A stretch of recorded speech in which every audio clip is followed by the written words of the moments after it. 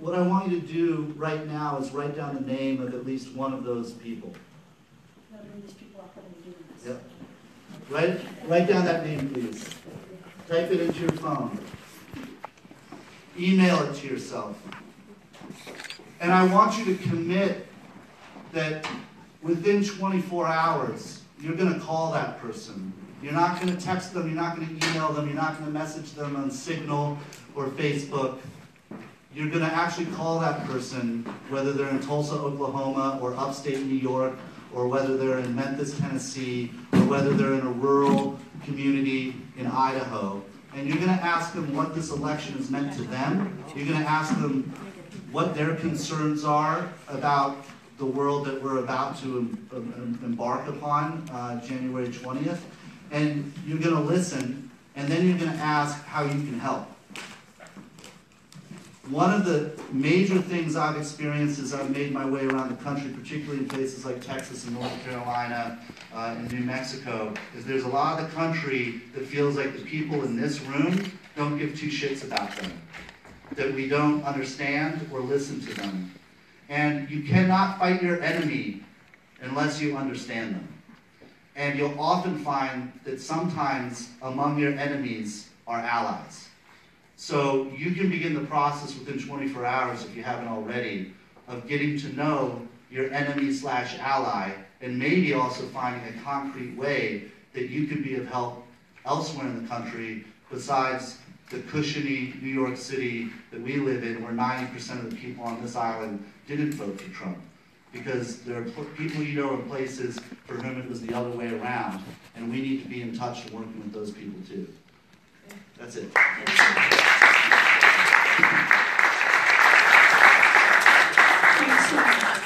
We still some time everybody back up here. And uh, we can talk about ourselves and we can talk with you. And um, listening to the, listening to these calls for action, listening to a lot of the analysis that we've heard tonight, um, you know, it reminded me of something I've been thinking about, which is this whole question of fake news and how to know what to trust and how to know what we're reading. And even to the point where people on Facebook are correcting each other, like, take that down, that's not real, what's your source? And then at the same time, you know, have putting things up that are real and having them ignored because people may not believe them.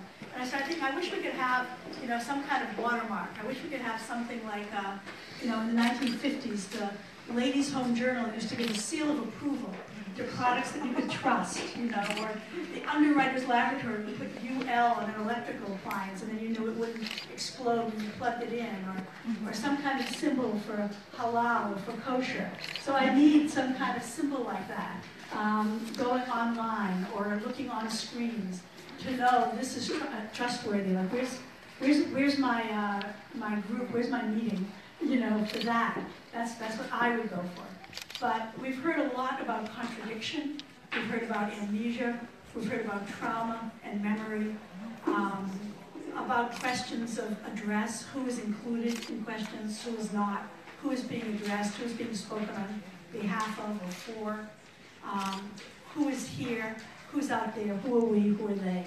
Um, and what happens under these different regimes, the kinds of stories that um, Walter brought, that Natalia and Susana brought, that Angela brought, um, the kind of examples that Michael was giving. Um, I want to hear what you have to ask. I want to hear what panelists have to say to each other. We have a little bit of time left. Um, I think it's been incredibly inspiring. I want to keep that going. Yeah. And uh, let the mic come to you and identify yourself so we know who's talking. Yeah.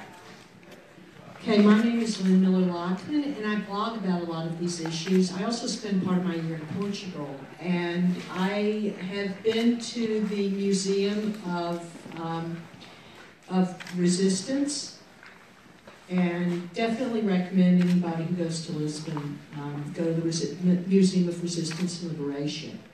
Uh, but one of the interesting things about that museum and my own um, research into the history of Portugal is the way that um, the movement was so clandestine and how people really had to hide. Um, and there were very small cells of people who were able to act because, you know, if one of the cells was arrested, um, that it wouldn't be everybody who was in resistance in that neighborhood or in that city who um, would be arrested. And Walter, um, I really appreciated your presentation too, Walter Bernstein, about um, the whole issue of the blacklist, and you could get off the blacklist by giving names. Well, now we get to this organization, Bo that you started, and nowadays we don't need to have to hide, or we don't know how to hide, and the authorities don't need a blacklist or torture because you can just go onto Twitter or Facebook. How do you deal with that if we're going to be resisting a police state? Well, I think there's a question for anybody up here. Yeah, Ruth? Well, but there's, there, there may not, who knows? Well, Newt Gingrich is calling already for some form of, uh, new House Un-American activities, but Trump has been training, uh, various constituencies for some time, and one thing he started to do was with the press, he's denying access. He did it selectively, and then the whole, you know, authoritarians are very into spatial politics, right?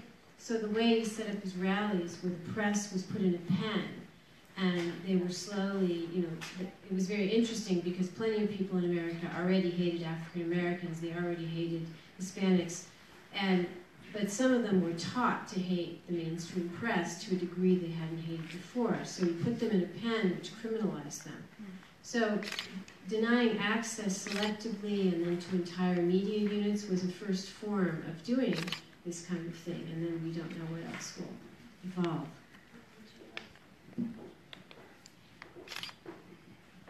Uh, As I understand it, you were saying that uh, if somebody signs up for Bo's organization or whatever, uh, they're gonna know about it. The authorities are gonna know about it. Of course they're gonna, they know about it anyway.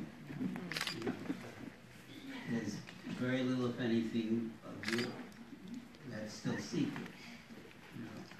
And uh, at the moment, you know, we don't have the necessity to hide. Uh, Perhaps it may come, and if it does, uh, knowing how to hide, or learning how to hide, becomes fairly easy. You'll find that soon enough. And, and don't forget, I mean, I, I, I was, you know, th- there's always this drive to claim a kind of heroism in advance of action also. And I would just say that, you know, you, you'll, there's a long ways to go before they're gonna be after many of us. And let's, let's do something to, to warrant that first, you know, and, mm-hmm. and also, it, also, you know, I, I did anti-Cuba work in the nineteen seventies. I was threatened with libel suits. I had letters to editors denouncing me as a foreign agent. I had the Center for Constitutional Rights defending me.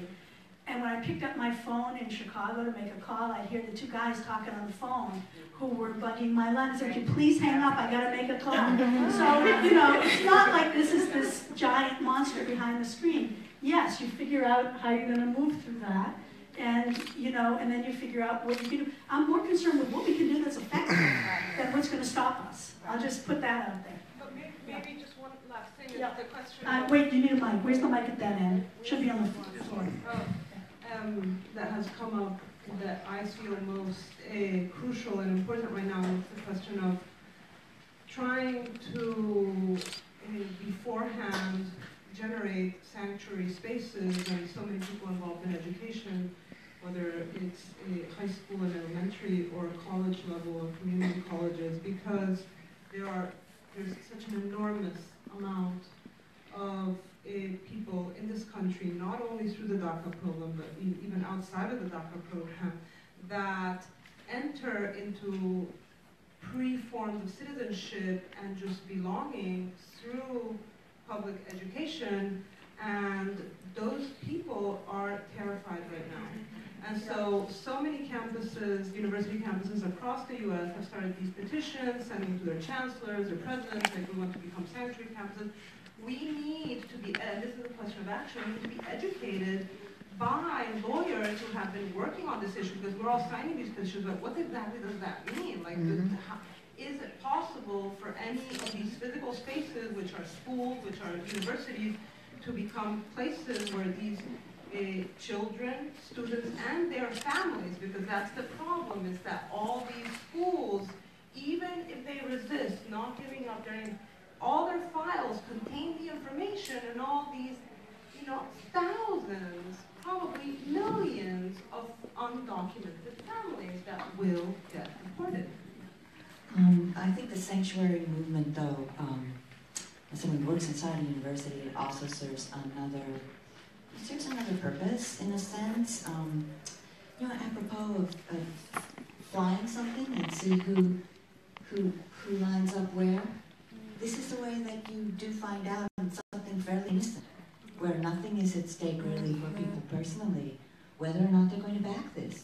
Then you really find out an aspect of, of, you know, where people are going to stand. You can encourage people to take this small step. This is a small step. This is a harmless step to speak up for this and to get together and do this as a community. And just for a foot, The just a foot. sanctuary, yeah. uh, sanctuary campuses and city movement is well underway. Uh, you know, student organizations, obviously, you know, they, they, you got that young, that young blood, uh, jumping into the mix pretty quickly, so you started to see them on campuses, but for instance, I was speaking to a city council member of Santa Fe, um, a few days ago. Tomorrow, the city council of Santa Fe will introduce resolutions to make Santa Fe a sanctuary city. Uh, and they're already looking at how they're going to uh, deal with uh, federal funding being taken away from them if Trump follows through on his threat, not that he's empowered to, but Congress is, uh, to take away federal funding. Is they, was, they are going to look at the budget and how they will cope with that and telling their citizens, we're still going to provide the services we need to provide you, um, even if we don't get federal dollars. Uh, and I was speaking to an attorney general of a state, which I can't mention here publicly, uh, who said that lawyers are already looking into the loopholes that can prevent the federal government from actually taking away federal funds.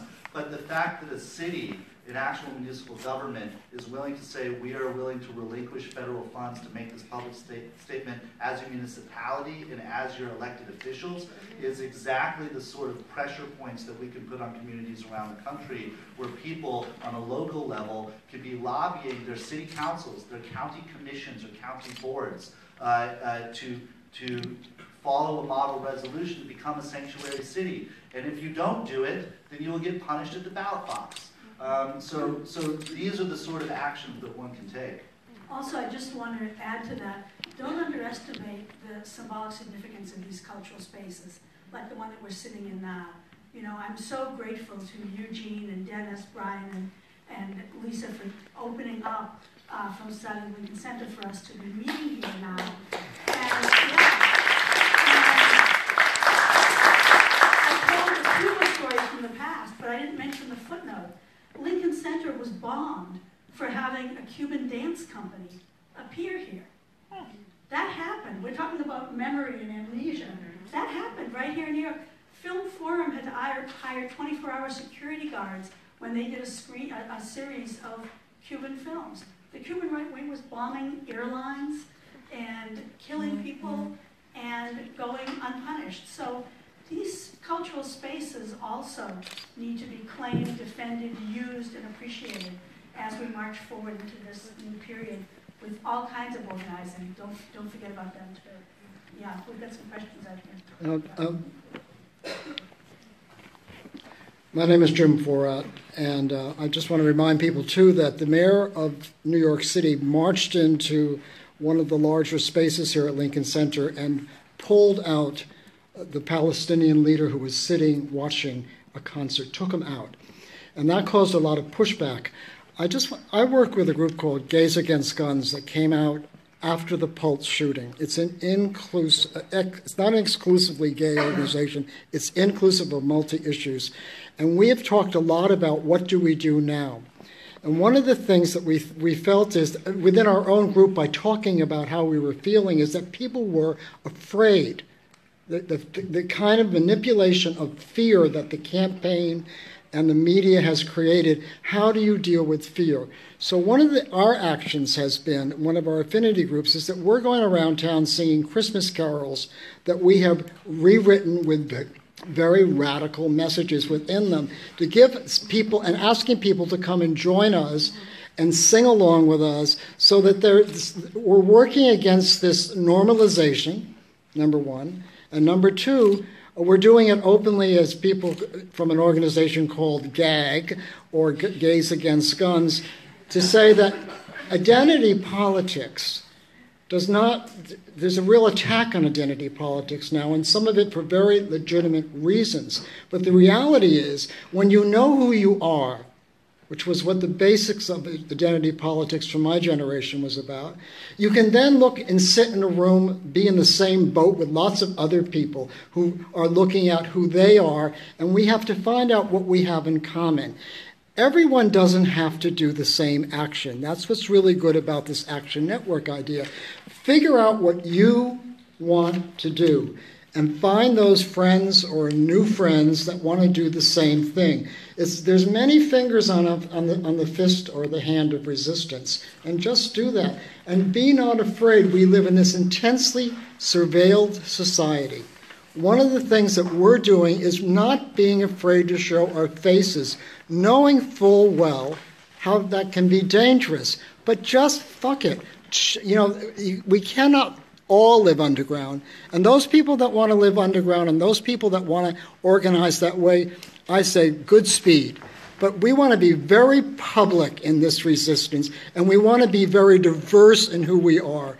And we don't all have to work together. We don't have to all love each other. But, but we're, we're looking at, I'm a white gay man. I'm trying to look at how do I not dominate this meeting? How do I not, you know, because of the privilege and the skills that I might have verbally, how do I not do that in the larger world outside?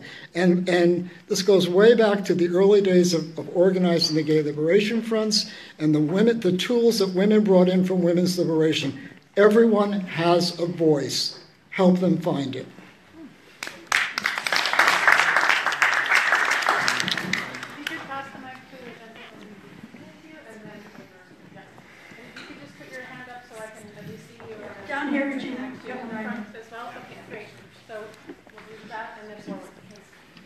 My question is for Natalia.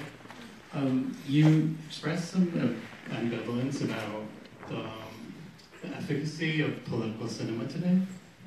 I was wondering what your opinions on, on the weakness of kind of revolutionary aesthetics of European or American avant-garde is today.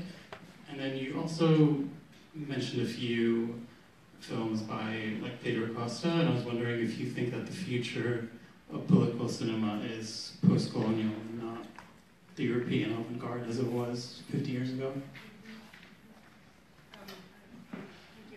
Um, yes, I mean, I think that the the failure of political, I mean, the, its gains, but also its long-term failure, is comes hand in hand with the failure of socialist revolutions of the 1960s, or starting from the 1950s on, right? Meaning we live in this post-1989 world where, you know, neoliberalism as the most recent form of capitalism has just become the norm everywhere in the world, right? Um, so, so that the failure of political cinema and, you know, its iteration in the 60s and 70s, I think is related to that other failure because that was what it was is coming with, you know, it was at the service of those social movements and those political revolutions.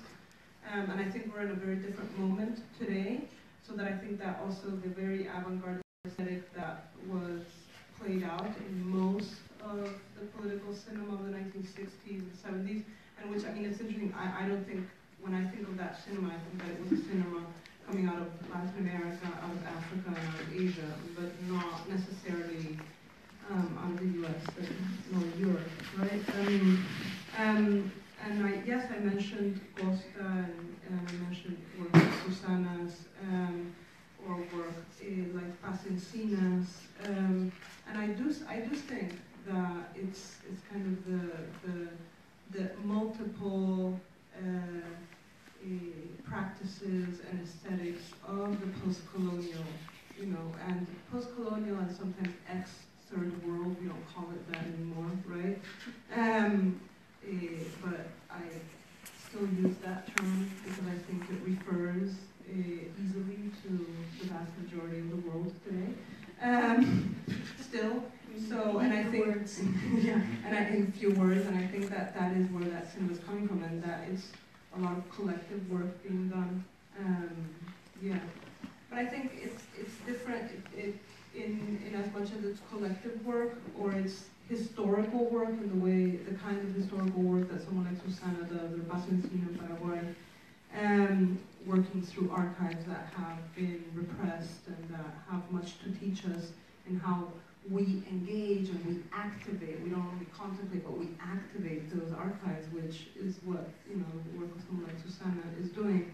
And that is where we will learn our lessons. But those are, they're not going to necessarily be high modernist lessons. They're, they're the lesson of high modernism in film, but that has passed through television, that has passed through, you know, the emergence of digital culture. I wish sometimes that there were things like Netflix series being done in the third world, but we there is there there is no resource to do that kind of work, right? Because I, I I'm saying that I wish because I it would be interesting to see what uh, that kind of storytelling, right, uh, in the way that it has taken off uh, a, a, political message here in the U.S. That kind of new serial, you know, television.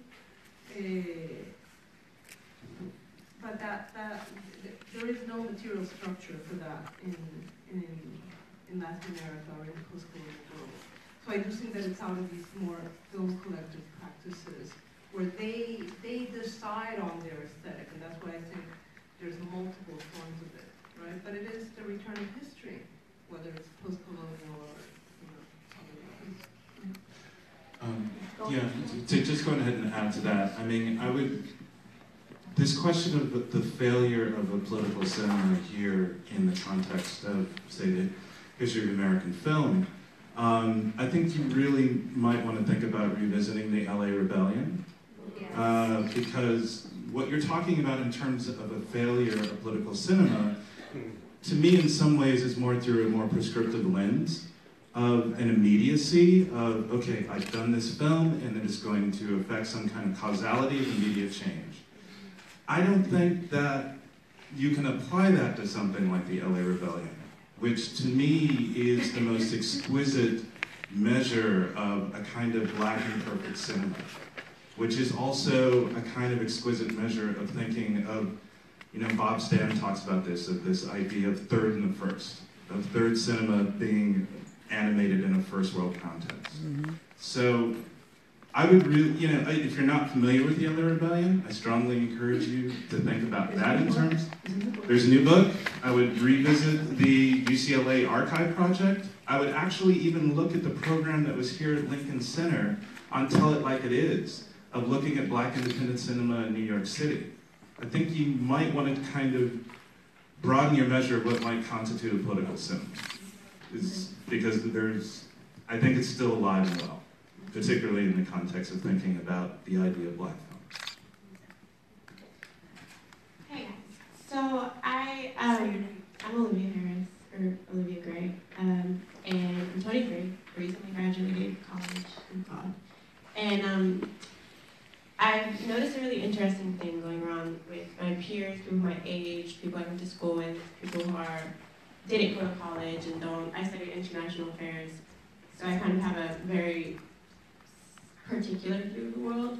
And so when I see them and, and I go to the protests, especially minorities, whether you're black, Spanish, or you know Chinese, you know any type of Asian, there's so much anger and so much hatred. Um, I just recently went to a um, protest um, against the shooting. Was another young black kid got shot, and it was I think it was like the latest protest where hundreds and like thousands of people went to the streets, and it was the most beautiful thing because every time I turned around, it was somebody of a different color and somebody who was so passionate about, you know, what was going on. And then I stepped back and it was, we were in Times Square and these two people were arguing against a cop saying, oh, we're gonna shoot you, we're gonna do this to you. And there's, there's such an interesting juxtaposition when you take individualities based on, you know, different cultures, but also based on different professions, and then it, based on different um, ethnicities, and, and you try to say, oh, we want to stand up for our own rights, we want to stand up for our own freedoms, and then you have the backlash, which we've seen with supporters of Trump, who say, well, okay, what about us? We want to stand up for our own rights too. And so I think um, with that juxtaposition in, you know, individualness, individuality, I, I want to think that there's a possibility that there a, a, a hand can be reached across the table from minorities and people who look like me, people who look nothing like me, and we can say, hey, let's talk about it. But when I talk to my friends and when I talk to other people who don't necessarily have the outlook on the world that I do, they say, no, what are we going to talk to them for? We're tired of being shot and killed in the streets for no reason. We're tired of this, we're tired of that. And I think what a beautiful thing that a film that I've been seeing in art is that just like the humanity. Like Moonlight, I haven't seen it yet. But I feel like I know I need to run. I need to run and go see it. But like the, the beauty of, of showing humanity in somebody who is portrayed in the media as a as a um, um, like a what's the word? As as as a, as um, an enemy in a sense in a way. And to, to show the humanity in that. And I add so much you know in what Bo and, and Imani, what you guys were saying about, you know, being able to reach across the table, being able to, to get that perspective, I have so much hope in that. But I, I kind of want to pose the question and, you know, see your opinion on is there actually any hope in that? And I feel like there there is, but at the same time, Trump just won. Yeah, so I, one of the, there's a lot of righteous rage, right? There's a reason to be angry. Um, and one of the things that I, um, my immediate reaction frequently, because there's also a lot of criticism of modes of protest, um, which are often about tone and language and gesture when we're talking about death, right? So that the attention, the, for the attention to focus on um, the performance of rage um, actually pivots our attention. And, and my, my child was in eighth grade, had this, he said, he came back home and he said, all these people in my class say Black Lives Matter is violent. And I said, well, the premise of the organization is the ending of violence, right? That's a very, but, um, and so what you're really talking about for the most part is, is, is um, an effort to regulate language, an to regulate expressions of rage. Um, and the reason that I think that's troubling is that despite the fact that it's so common, it's so frequent that people say uh, rioting and rage and, and angry protests or destruction of property don't produce anything, history actually shows that's not true. Um, the quote-unquote riots and rebellions produced integration in higher education. It didn't happen after the March of Selma. It happened after people were burning streets, right? Um, the diversification of the media. Black people being on television for the first time.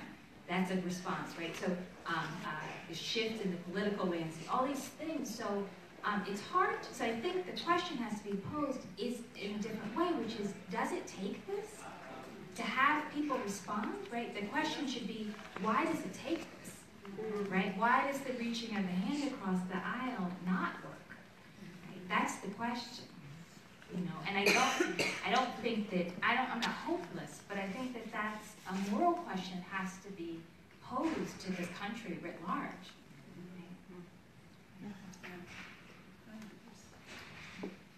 Gentleman back here, and then there was somebody else, Right here. two people in the front, and then we have to close.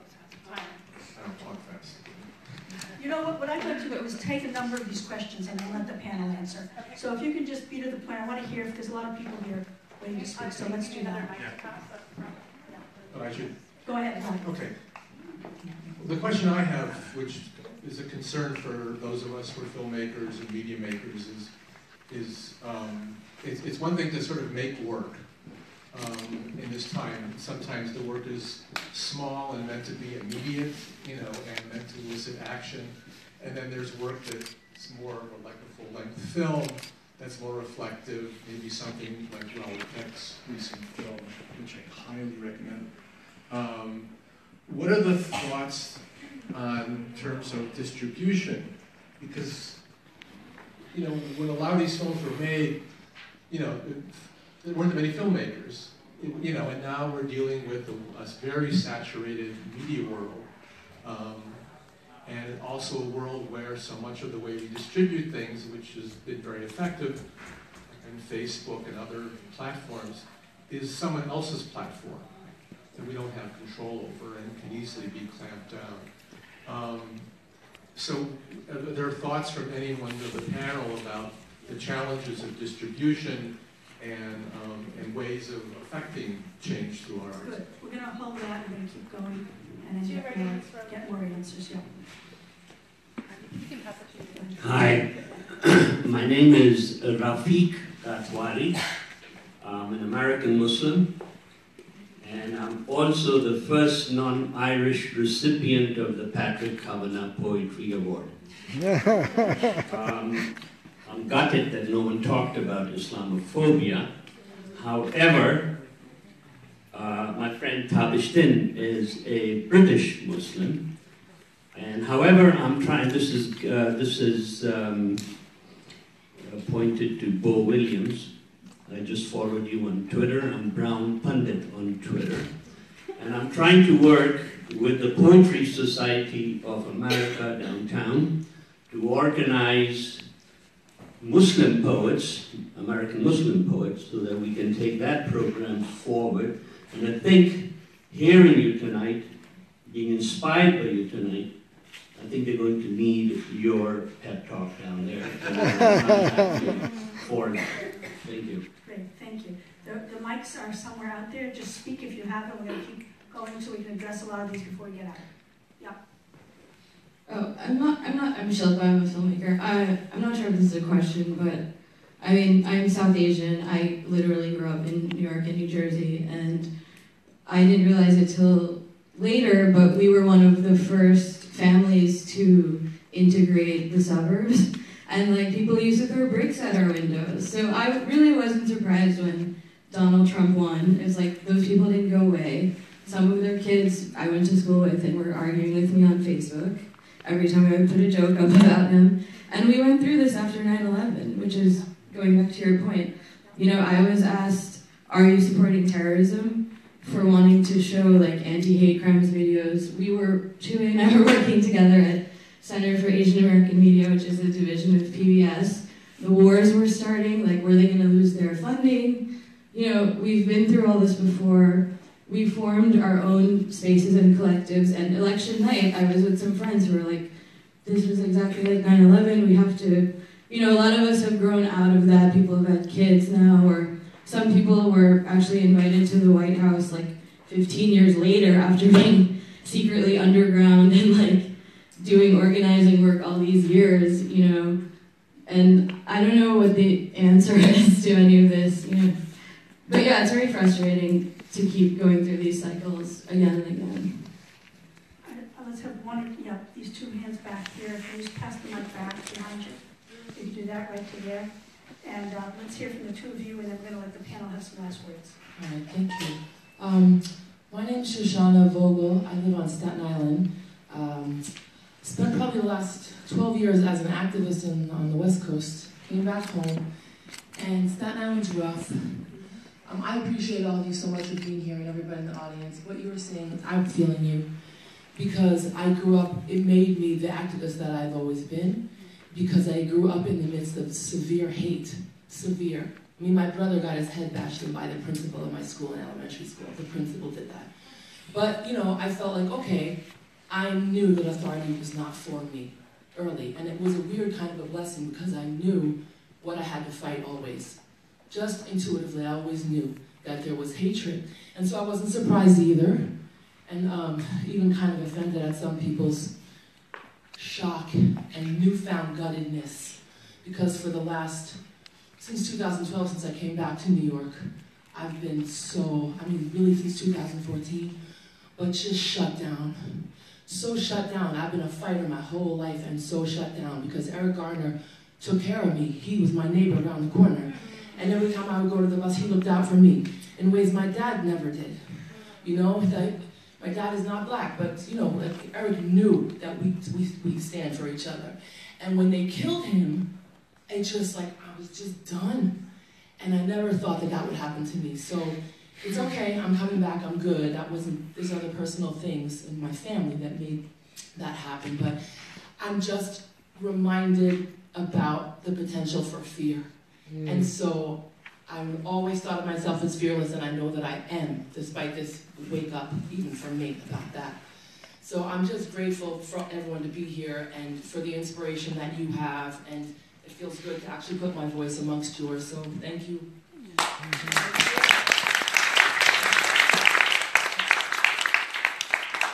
Hi, I'm short, so I'm going to stand up. My name is Anjanette Levert, and I run the documentary forum at City College of New York. And so, what I'm hearing, like what I'm just hearing right now, is the fatigue that people of color who are filmmakers, media makers, and also um, attempting to actually do the news are, you know, just like this woman said, done. And now to like be in this kind of climate right now where diversity, like everyone's wanting diversity. Oh, we just came to the party, although we've been here for this whole time. So I think that I'm looking at how I can help the people who come to my organization and the people who are looking to get into um, mm, into creating um, I kind of think of it as this is an opportunity to document because so much of our histories were not documented previously. But what else can be done? Because in a way, I also think that just anything that is that we create in and of itself is political. So I'm looking at okay, what you know, people are coming together, you know, because of the um, because of what I do, people are looking to me as kind of like, okay, a leadership thing, what, what should we be doing? So I am also interested in hearing from this, especially because we have a history that's already preceded us, and so now what can we do to kind of um, circumvent that? So thank you. Yeah, I think we're gonna just hear from the panel, have some last words before we move out of here. Um, I know everybody wants to say something, so. I mean, I, I teach documentary at UC Santa Cruz and work with all these kids who want to try to change the world with documentary trying to bring people's stories out. And I, I agree with the question about distribution. How can we get this work to people? Is film really an empathy machine? Is that true? Or are people just turning the dial, you know, and what can we do to, you know, help people open their eyes? I think it's really important. So, Ruth? Welcome. Want to hear from you. Um, just quickly, I, wanted to pick up on something um, that Imani said and was also echoed. Um, that I think that we're going to see the, the importance of being visible as a form of politics, and that could mean being in the street, being together in the room to, to see other bodies together. This is what Beau was talking about.